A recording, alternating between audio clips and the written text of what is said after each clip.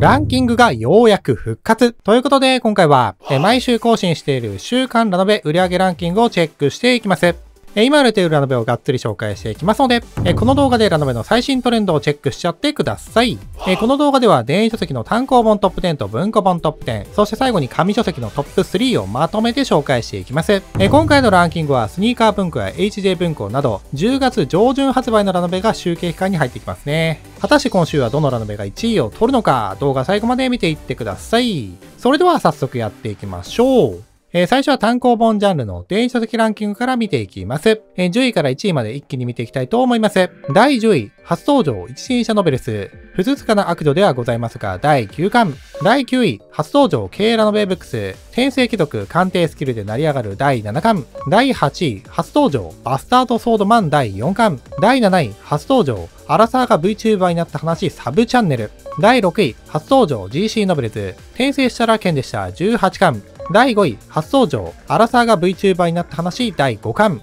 第4位、初登場 GC ノベルズ、賢者の弟子を名乗る賢者21巻。第3位、初登場 GC ノベルズ、この乙女ゲーは俺たちに厳しい世界です第4巻。第2位、初登場 GC ノベルズ、嘆きの亡霊は引退したい12巻。そして第1位はこちら。初登場 M ノベルス、魔王様リトライ完全版第10巻。えー、ということで単行本ラノベのトップ10はこのような結果となっています。今回は秋アニメ原作を筆頭にアニメ化シリーズも大量で人気作が揃っていますね。まず個人的注目作品としては第10位に入った不つかな悪女ではございますがをピックアップ。このシリーズはアニメ化こそしていないんですけど、コミカライズ人気も相まって、すでにシリーズ累計は300万部を突破。まあ近いうちにアニメ化するのは間違いない作品ですね。まあ、ジャンルとしては中華風高級ファンタジーなわけですが、まあ、このジャンルは薬屋の独り言のアニメが大ヒットしたことで相当熱いジャンルですよね。アニメ制作側もね、虎視眈々と次のヒットタイトルを狙っていると思います。まあ、原作の内容的にも最強メンタルのポジティブヒロインがいろいろな事件を解決する展開が面白いですので、えー、気になる方はね、早めにチェックしておきましょう。えー、そしてね、第9位には、転生貴族鑑定スキルで成り上がるがランクイン。まあ、こちらはアニメ2期の放送が始まったタイミングで新刊を出してきました。アニメの方はね、今年の春クールで1期が放送されていましたので、まあ実質的な分割2クールって感じです。まあ鑑定スキルで人材を集めるっていうコンセプトの作品ですので、アニメ1期の範囲だと仲間集めがメインで、肝心の戦争要素が薄めでしたからね。まあアニメ2期に入って派手さのあるシーンも増えてくると思いますので、え、ここからさらに盛り上がっていくと思います。まあ、原作最新刊では飛空船がついに登場したりと、割とね、無双状態に入っていますので、そこら辺の展開が気になる方は、コミカライズではなく原作の方をチェックですね。えそして第6位には、転生したら剣でしたがランクイン。えこちらもアニメの2期が決定している作品ですが、そういえば続報って出てませんよね。決定してから1年くらい経っていますので、まあ、そろそろ新情報出てきてほしい感じもしません。そして第5位には、アラサーが VTuber になった話がランクイン。まあ、作品数が増えている VTuber ジャンルの中で、頭角を表している本シリーズ。アラサー男性 VTuber となった主人公が、いろいろなトラブルに巻き込まれながらも、VTuber ライフを謳歌していく、王道の VTuber エンタメですね。え最近だとね、V 伝のアニメ化で VTuber ラーメンもね、一つ上のステージに上がった感じもありますし、個人的にはね、本作もかなり注目しています。シリーズ累計もね、10万部を突破して順調に人気を高めていますし、今後にも期待が持てるシリーズだと思っています。え今回はね、第7位に同時発売となった短編集もランクインしていますし、新刊もかなり好調な滑り出しとなっています。えそして続いて第4位には、賢者の弟子を名乗る賢者がランクイン。こちらもアニメ化している人気の異世界ファンタジーですね。えー、さらに第3位には、あの乙女芸世界は俺たちに厳しい世界ですが入ってきましたが、えー、こちらは乙女芸世界はモブに厳しい世界ですのスピンオフ作品です。そういえば、モブセカもアニメ2期決定してたと思うんですけど、その後どうなったんですかね結構時間が経ってるので、そろそろ何か情報が欲しいです。え、そして続いて第2位には、嘆きの亡霊は引退したいが来ました。え、こちらもアニメが放送開始となった勘違いコメディファンタジー作品ですね。え、関数も12巻目とまずまずの冊数になってきました。まあ、本作はコメディ要素のある冒険ファンタジーなわけですが、アニメとの相性は結構いい感じでしたね。まあ、オープニングとエンディングの入り方も凝っていたり、ナレーターが声優の杉田さんだったりと、制作側もね、色々と面白いポイントを作ってるって感じがします。映像クオリティもかなり高いので、結構期待できそうな感じがしますね。まあ、シリーズ累計は150万部を突破していますので、アニメ化効果でどれくらい伸びるのかも注目です。そして第1位になったのは魔王様リトライでした。1年ぶりに新刊が発売となった本シリーズ。まあ、こちらも秋クールからアニメの続編が放送されていますので、タイミングを合わせての新刊発売となっています。アニメに関してはね、制作会社だけじゃなく、主人公以外の声優全てを変更して話題となっていましたが、1話目の出来はちょっと苦しそうな印象もありましたかね。やっぱり一期がね、独特の面白さになっていたので、なかなかあの感情を再現するっていうのは難しいですよね。まあ、1話に関してはね、これまでのストーリーをね、結構謎すぎるまとめ方していたので、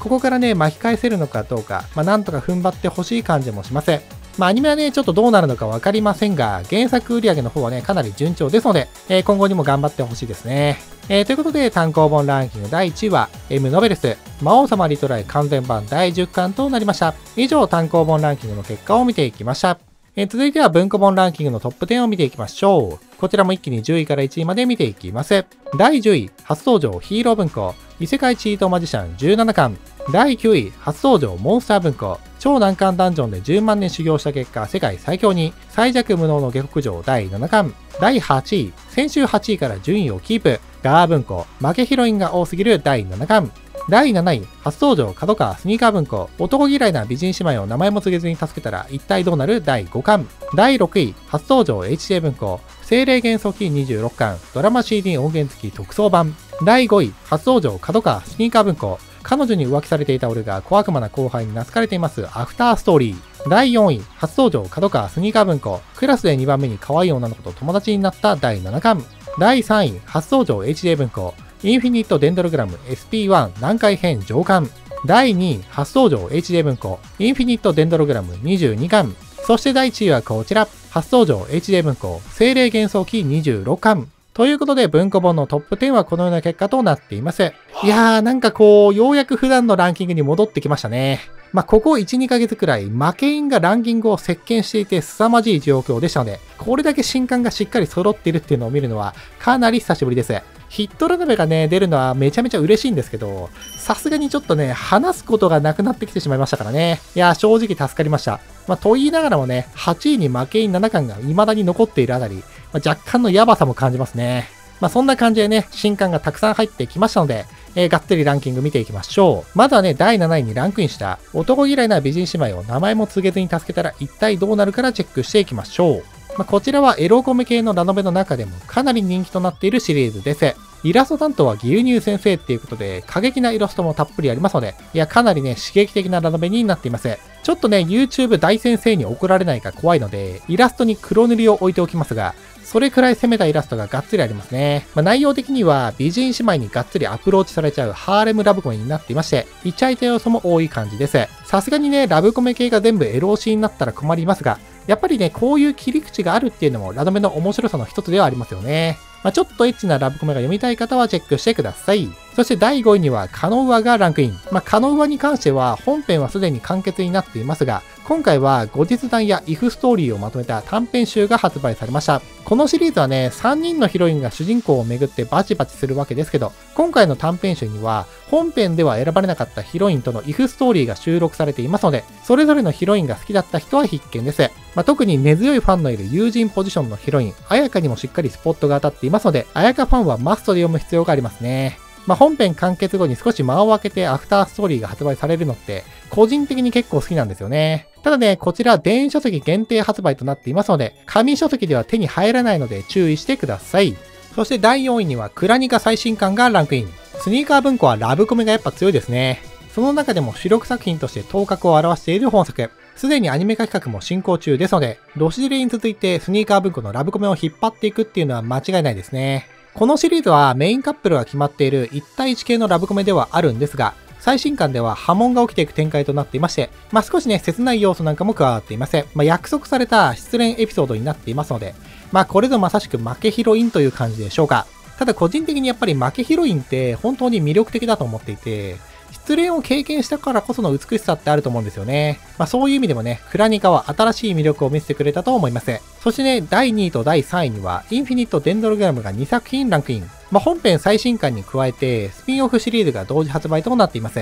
えー、こちらね、もともと円盤特典の小説だったようですので、え、シリーズファンはお見逃しなく。そしてね、そんなデンドロ2作品を抑えて1位となったのは、精霊幻想記でした。HD 文庫の看板作品にもなっている本シリーズ。え、今回で26巻目っていうことで、関数もだいぶ多くなってきましたね。え、ストーリー的にも壮大なスケール感の異世界ファンタジーとなっていますが、え最新刊は久しぶりの日常会となっていまして、え一休憩入れるエピソードになっています。えそんな本作ですが、こちらも秋クールからアニメの第2期が放送を開始。約3年ぶりの放送ですので、待望の続編ですね。え現在ね、1話まで見ているんですけど、現実世界でのストーリーも入れながら、主人公リオの前世も絡んで、結構ね、いきなり話が動いてましたね。まあ、続編アニメって序盤は説明会になりがちですけど、新規で見る人って、まあ正直あんまいないと思うので、まあ個人的にはね、ガンガン話を進めてもらっていいと思います。映像的にもね、結構いい感じになっていましたので、アニメ2期どうなるのか楽しみですね。まあ、それとね、精霊幻想機は今回ドラマ CD 付き特装版も同時発売となっていまして、えそちらも第6位に入っています。まあ、売り上げがね、分散してもしっかり1位を取るあたり、本作の人気の高さが伺えますね。えー、ということで、文庫本ランキング第1位は、HJ 文庫、精霊幻想機26巻となりました。以上、文庫本ランキングトップ10の結果を見ていきました。え、そして最後に紙書籍ランキングのトップ3も見ていきましょう。先週はリゼロが1位となっていましたが、果たして今週はどうなっているんでしょうか？まずは第3位からの発表です。第3位。初登場、魔法使いと愉快な仲間たち第3巻。え電子ランキングではランクインしていなかった本作、紙書籍3位はかなり強いですね。まあ、このシリーズはね、一応第3巻ではあるんですけど、魔法使いで引きこもりというシリーズの第2部ですので、え実質的には18巻目の長期シリーズになっています。まあ、シリーズファンがしっかり買っているって感じですね。え続いて第2位。初登場 HJ 文庫、精霊幻想記26巻。え電子で1位だった本シリーズ、惜しくも紙書籍では2位となりました。ダブルで1位取れなかったのはちょっと悔しいですね。まあ、ドラマ CD 付き特装版も同時発売でしたので、合算したらどうなったのか気になります。そしてね、今週の1位となったのはこちら。初登場、猛毒のプリズン、アメクタカオの事件カルテ。えー、こちらはね、ラノベ扱いするのはね、若干違う感じもあるんですが、アニメ化決定もしていますし、こちらで取り上げちゃいます。えー、来年の1月からアニメが放送開始。一風変わった医療ミステリーなんですけど、実写ドラマよりもね、先にアニメ化するっていうのは、えー、結構ね、珍しいかもしれません。個人的にはね、伊藤ノイジ先生のデザインのキャラがアニメでがっつり動くっていうのはテンション上がりますね。まあ、このシリーズね、自分ちょっとコミカライズは読んでるんですけど、小説の方はノータッチですので、アニメに向けて読んでみるっていうのもありかもしれません。えー、ということで、紙好きランキング第1位は、猛毒のプリズン、アメクタカオの次元カルテとなりました。まあ、今週は久しぶりに色々と作品紹介ができて、いや、なかなか充実した内容になってよかったです。以上、今週の売上ランキング動画はここまで。来週の結果も気になるという方は、この機会にぜひチャンネル登録をお願いします。それとチャンネルの応援の意味も込めて、高評価ボタンもぜひポチッとお願いします。それではまた次の動画で会いましょう。またね